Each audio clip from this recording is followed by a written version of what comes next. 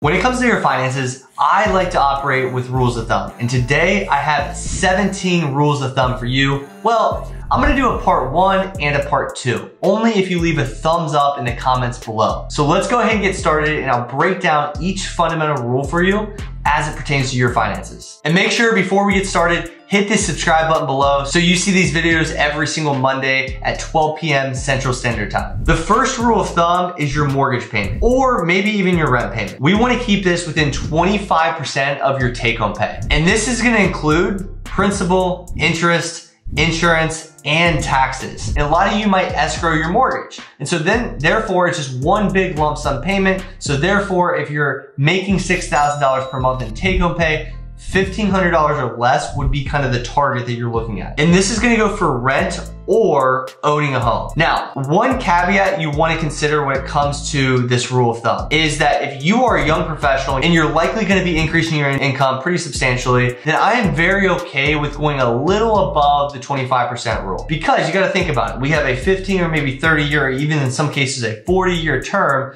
with your actual loan, and that's a fixed monthly cost. And as you increase your income, that monthly cost becomes a smaller percentage of your take home. So if you're like me, where I started Deloitte at $50,000 per year back in 2016, and then in five years, I doubled that. Well, we want to consider that that income is going to substantially increase. Now, you have to be careful and make sure that is a natural progression of your career and you're not at the very highest heights of your career where you won't get an actual income increase. So be careful with that caveat, but I'm okay with going up to 30% in that situation. Number two is still pertaining to homes, and I typically say three to five times your income, your gross income that is, will be an okay purchase price. So therefore, if you are in the $100,000 per year gross income before taxes, insurances, all that kind of stuff, I'm okay with a 300 to $500,000 home. Now, the more important rule is number one, but if you're with number two, you're likely gonna fall within number one, as long as there's a decent down payment on it. Number three, when to refinance. Typically, if interest rates drop 1%, that is when you wanna start to consider to refinance. Anything lesser than that, it doesn't always make a whole lot of sense because of all the additional costs that can potentially come with a refinance. So it's something to look into if 1% or greater does happen. I know all the millennials out there think that we're living in a period of crazy interest rates, but if you look historically, 5 6% is not that crazy. How to prepare for home maintenance. You wanna set aside 1% of your home's value every single year for home maintenance. And trust me, I've lived in two houses in eight years and I've had about 74 dishwashers. So be very careful when it comes to this and make sure you prepare. Pay off debt or invest. And I get that question quite a bit.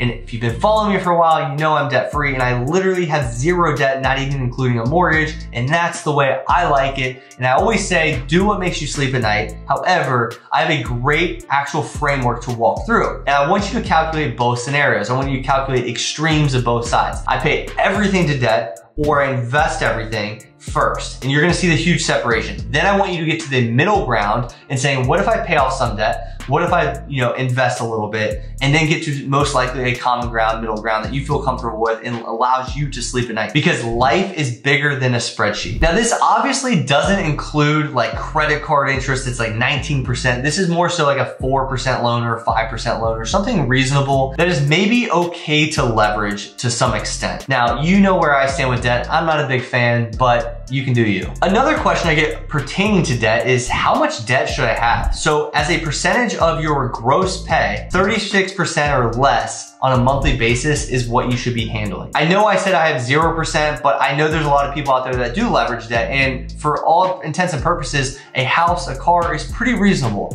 As long as you stay within 36% or below, I think you're in pretty good hands. Just be really careful getting tied up in too much debt to where it's a little hard to manage if something else pops up in life. And that happens all the time. So student loans as it pertains to debt and how much student loans should you take on reasonably? College can be a wide ROI as far as the return you're gonna get on the investment that you have into college. So don't just go to college because your parents told you. Make sure you have a plan in place. And so to come out with a lot of debt, I've seen people north of $300,000 in debt making 100,000 per year. Be very careful when it comes comes to this, here's the rule of thumb. Make sure that your debt, total debt from all of the years in college is no more than your starting salary at your job. So therefore, if you have a $70,000 salary, I'm okay with $70,000 or less to get you through school. Now, the goal is to pay that student loan off is there's no attached asset and there's no good debt with student loans. Although some people online make a case for it. But we aren't going to say that student loans are good debt. We're gonna pay those off pretty quickly. So if you're coming out of school with $100,000 in debt and you're making only $50,000, you might wanna reconsider what you went to school for. And the last rule of thumb I wanna talk about today before we go into part two next Monday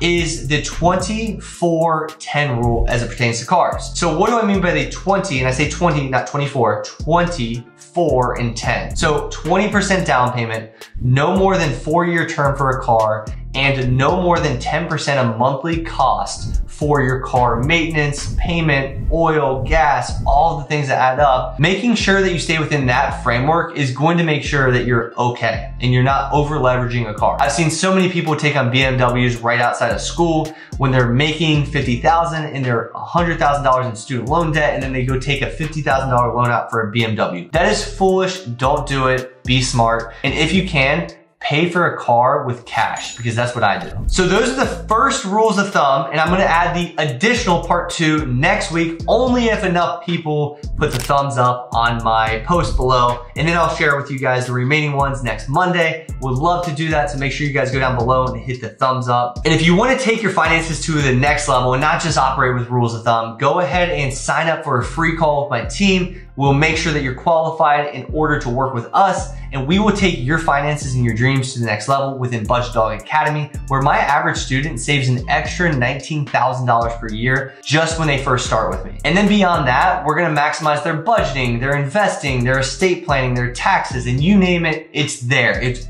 everything encompassing personal finance and it's a six month program to work with me one-on-one -on -one, as well as a group setting. This is a mid four figure investment. So please don't come to this call with the idea that this is a free program. This is a six month one-on-one -on -one, as well as group setting with me that's gonna take you to the next level and we get results and our results do the speaking. So I'm gonna stop here. And if you want to go below in the link below and go ahead and book that free call. With that being said, I'll see you next Monday for part two of budgeting rules of thumb, and I might even get into investing rules of thumb in the future. So talk to you soon, and thank you for all your support.